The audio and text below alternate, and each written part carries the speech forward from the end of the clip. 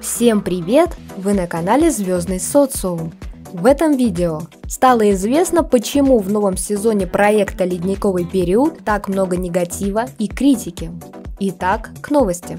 Проект «Ледниковый период» вызывает интерес у зрителей не столько за счет номеров и прогресса участников, сколько за счет волн негодования, критики и оскорблений в адрес всех задействованных лиц. Даже сам Илья Авербух, продюсер шоу, признался, что такого не было ни разу за всю историю. Известный тренер, серебряный призер Олимпиады Александр Жулин нашел вероятное объяснение. Но об этом чуть позже. Досталось в первую очередь самой молодой ведущей в истории проекта – Алине Загитовой.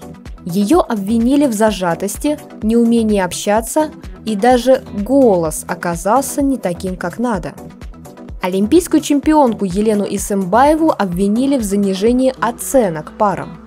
Зрители напрямую поставили Авербуху ультиматум – убрать спортсменку из судейского комитета. Свое негодование также высказала фигуристка Ирина Роднина, цитата. «Я привыкла к качественному фигурному катанию. Почему я должна смотреть на самодеятельность? Когда в паре один профессиональный спортсмен, а второй на коньках едва умеет стоять. Участники проекта поспешили заступиться за свое детище и попытались найти объяснение этому.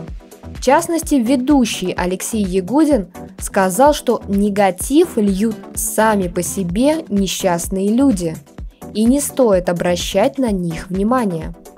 А Александр Жулин высказался более прямо – по его словам, такого мрака ни разу не было.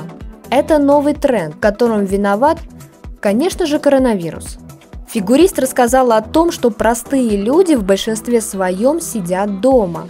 Народ сильно ограничен в развлечениях, поэтому и начал заниматься этой ерундой. Людям просто скучно. А вы согласны с комментарием Александра Жулина?